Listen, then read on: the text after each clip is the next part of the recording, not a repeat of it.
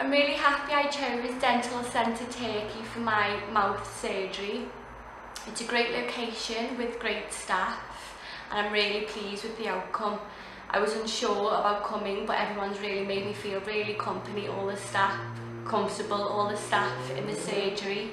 Um, we've had great treatment to and from the hotel, getting to and from to the surgery.